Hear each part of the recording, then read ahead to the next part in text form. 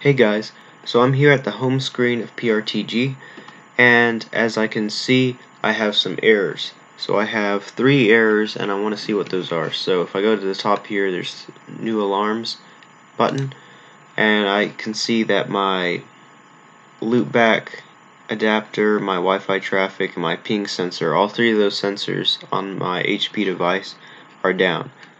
In this case I simply turned my device off. It's sleeping right now, so the device, or so my server can't communicate with it.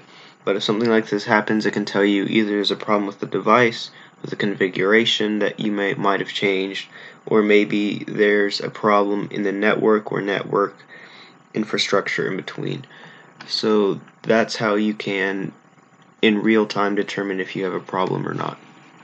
So now I'm going to show you the map function of PRTG. So here on the top, simply go to maps and then I have already created this network layout, but I'm going to create another one just to show you guys.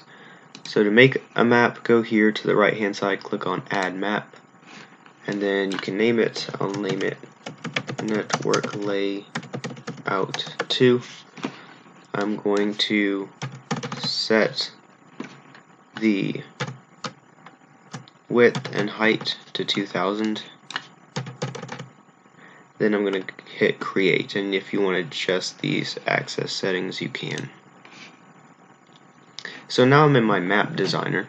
I have my devices that have been found by PRTG with either network discovery or that I set up myself here on the right hand side and I have icons and different thing map design tools here on the right side. So if I open this drop down I have my local probe. So that's one device. That's the server that has discovered these, and you can see there's some error messages there. And then expanding the network discovery, we see that I have network infrastructure. So here's the internet, and then here's my gateway. So I'm going to drag my gateway on because that's obviously a main portion of my network. I'm going to put that at the top here.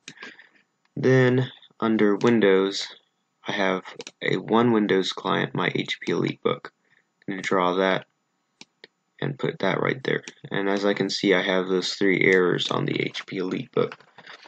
So now to connect two devices, what you're going to do is you're going to select this small little dot on the left hand side of the computer icon and then drag it and drop it to the device that you want to connect it to. So now I'm going to connect this to my HP EliteBook and as I can see we have several errors and several things that are also up and running. So I'm going to turn on my laptop and we're going to see if those errors change as we continue to work. So I can also change these icons which I'm going to do and I'll just use icons A. I'm going to use set these two as laptops. You simply drag it and drop it onto the onto the um, device. I'm also going to do that with this HP EliteBook, which is also a laptop. And then for the gateway, I'm going to find a icon that resembles or shows that I have wireless on this gateway. So I'll just select this one, drag it and drop it there. So now I've created a basic network map. If I want to cut a link, say if I accidentally connect it, then I can click on the scissors and it will um, disconnect that. And then I can drag and drop it back. So if you click on a device, uh, you have a couple things here on the property side. You have a top, you have left, you have width, you have height, and you have layer. So the top shows you how many units it is down from the top. So if I change it to 150, you're going to see it shifts up. So it's 150 units from the top. So if it's 200, it's going to move lower.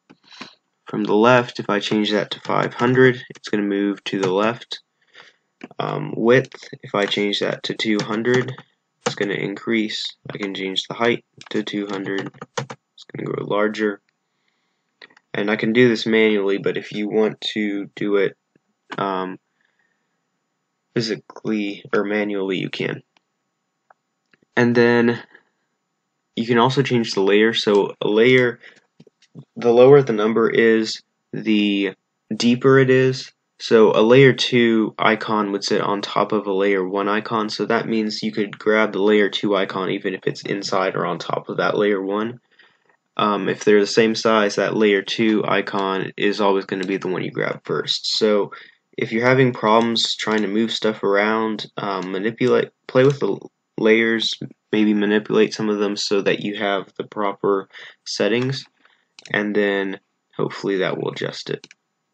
Okay, so looking back, we can see we only have two errors now here, and we only have one error here, so let's see if we can, let's go to our view map and see if anything changes. So our map refreshed, and we can see that since the HP EliteBook is online, everything's green now, and I have connectivity.